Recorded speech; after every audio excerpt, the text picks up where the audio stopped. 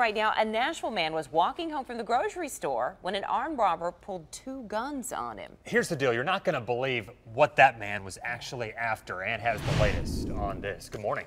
Good morning, Holly and Ian. Yeah, it appears all the robber wanted was a bag of groceries. That's it. According to the police report, the robber demanded to know what was in the victim's grocery bag. The victim said, All I have is some meat and some drinks. And the robber went ahead and took it. The victim says the robber told him to set the bag down on the ground and walk away. And remember, this is all while the robber was aiming two pistols at the victim, according to police. And it happened in the 1600 block of 14th Avenue North. The victim says when he got to a safe place, he dialed 911. Now, the victim gave gave a very good description of the robber. Police developed a photo lineup, and the victim identified the suspect as a Marlon Williamson, who police say uh, used to live close by to the victim. So this morning, Williamson is charged with aggravated robbery all over a bag of groceries.